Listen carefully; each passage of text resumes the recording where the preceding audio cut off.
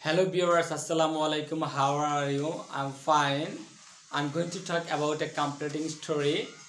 Gaspar Lojol. The story is very very important and interesting. The story is very common from 6 up to intermediate level and it is well known completing story. Everybody knows this story. We know there lived a farmer in a place with his wife. One day he went to a market and bought a goose. The goose used to lay a golden egg every day. The farmer used to sell in the market within short time he became very rich. But his wife was very greedy. He wanted to be more rich. So he suggested his husband to cut the belly of the goose to get at a time all the eggs.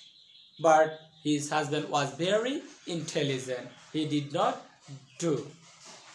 But he went to his farm one day. At this time, his wife took the opportunity. He took a sharp knife and cut the belly of the goose. But it is a matter of regret that he found no egg in the belly. He lost all his hopes of becoming rich. Now, I will tell you, I will make you understand with Bengali meaning. Before that, I will tell you some important word meaning. The word meaning will help you to understand the story. Used to, used to এই শব্দটি হচ্ছে খুবই important অতীতের সচরাচর কোনো ঘটনা। যদি আমি মানে সচরাচর কোনো অভ্যাসগত কোনো কাজ বোঝায় আমি ইউজ টু ব্যবহার করব। যেমন আমি ফুটবল খেলতাম আমি আমার শৈশবে আমি আমার শৈশবে আমি ঝগড়া করতাম আমি শৈশবে নদীতে সাঁতার কাটতাম। এই ক্ষেত্রে আমরা ইউজ টু ব্যবহার করব। I use to play football I use to play cricket I use to play swimming the river in my life in the in my boyhood use to within a short time এগুলো you can take note down তোমরা note করে নিতে পারো। Within a short time অল্প সময়ের মধ্যে quite solvent বেশ সচ্ছল মানে টাকা পয়সার অভাব নেই। ওভারনাইট রাতারাতি there is no use of কোনো লাভ নেই। This is very very important idiom there is no use of idiom idiom that means মানে ইডিয়ম দিয়ে ভাষার বিশেষ প্রকাশভঙ্গি প্রকাশ করা হয়। অ্যাট এ টাইম এক নাগারে বা এক টানা বা একবারে। সাত, তীক্ষ্ণ বা ধারালো রাদার বরং দাস এইভাবে। ওয়ান্স একবার এ ফার্মার হ্যাড এ গোস একটি কৃষকের একটি রাজহংসী ছিল। It use to lay a golden egg everyday সে প্রতিদিন একটি করে স্বর্ণের ডিম পারত the farmer use to sell them কৃষকটি ওগুলো মানে এই ডিমগুলো বিক্রি করত ইন দ্য মার্কেট বাজারে। And within a short time অল্প সময়ের মধ্যে, অল্প সময়ের মধ্যে time he became quite solvent সে বেশ সচ্ছল হয়ে গেল। বাট কিন্তু হিজ ওয়াইফ তার বউ ওয়াজ ভেরি গ্রিডি খুব লোভী ছিল।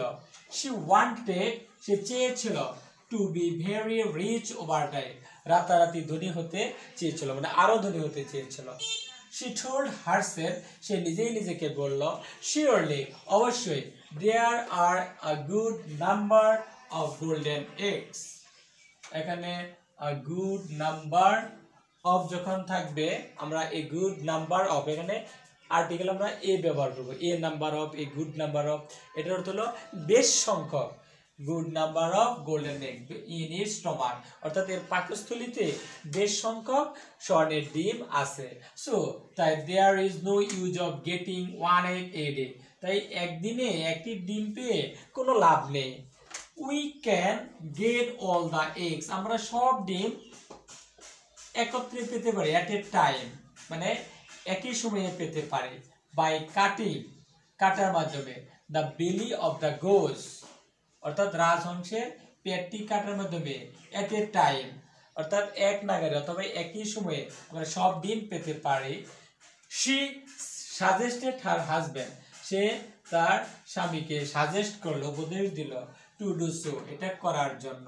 বাট কিন্তু হার হাজব্যান্ড তার স্বামী ওয়াজ ভেরি ইন্টেলিজেন্ট খুব বুদ্ধিমান ছিল। He did not agree with her proposal সে তার সাথে মানে তার বউর সাথে প্রস্তাবে রাজি হয়নি। ওয়ান ডে একদিন when the farmer went to his farm যখন তার যখন কৃষকটি তার কৃষি খামারে গিয়েছিল হিজ গ্রিডি ওয়াইফ তার লুবি বউ ঠুকে শার্প নাইফ একটি ধারালো ছুরি নিল and cut the belly of the goose এই রাজহংসটির পেট কেটে ফেলল। সি ডিড নট ফাইন্ড সে খুঁজে পায়নি। সি ডিড নট ফাইন্ড সে খুঁজে পায়নি। কি খুঁজে পায়নি? এনি এ কোনো ডিম। রাদার বরং দ্য গোজ ডাইড রাজহংসীটি মারা গেল। দাস এইভাবে it is for her greed তার লোভের জন্য she lost all hopes of becoming prosperous তার ধনী হওয়ার সব আশা হারালো Okay viewers, if you like this video, please like, share, comment and subscribe. And to watch my next video, to touch the bell icon. Before that, we can learn English easily through a completing story. Thanks for watching my video. Assalamu alaikum.